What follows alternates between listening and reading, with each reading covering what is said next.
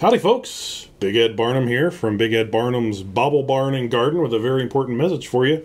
It's April 3rd, day three of National Poetry Month. And you thought it was just an April Fool's joke. Well, it's not.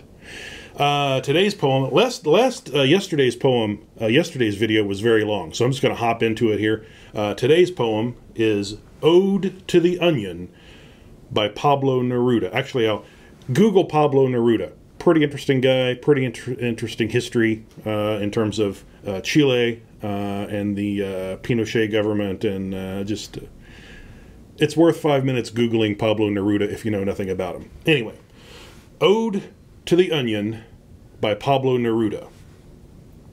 And I'm cheating. Onion. Luminous flask, your beauty formed petal by petal, crystal scales expanded you, and in the secrecy of the dark earth, your belly grew round with dew.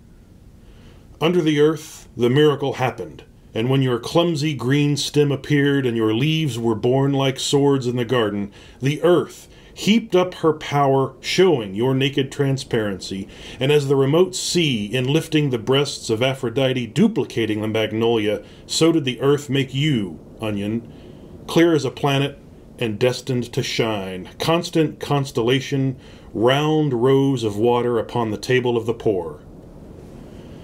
You make us cry without hurting us.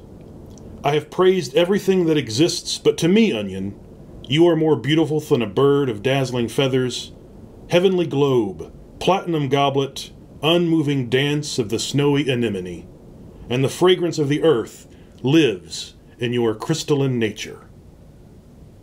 I'm Big Ed Barnham.